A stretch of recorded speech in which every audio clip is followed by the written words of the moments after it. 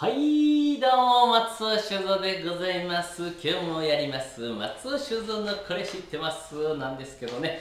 えー今日ですね、あのー関東の方はあんまり知らないかもしれませんけどね、鳥取県ってあるんですね。えー大阪のですね、えー隣が兵庫県、西隣が兵庫県、